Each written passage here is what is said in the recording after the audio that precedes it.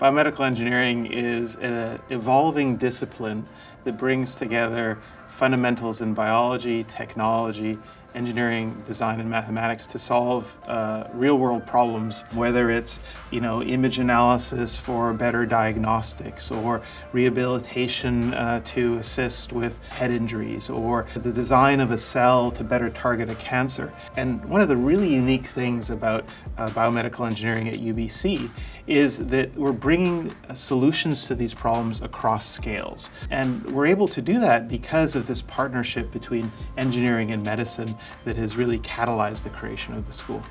The new facility that the School of Biomedical Engineering is uh, working on and really rapidly building and establishing is going to bring in a lot of talents with different disciplines and that is really what makes biomedical engineering strong where people have different backgrounds and different passion and then you bring them together and they're now in one unique place with state-of-the-art equipment. Traditionally you found that you know, engineers were over in one silo, biologists were over in another silo, and they really didn't speak the same language.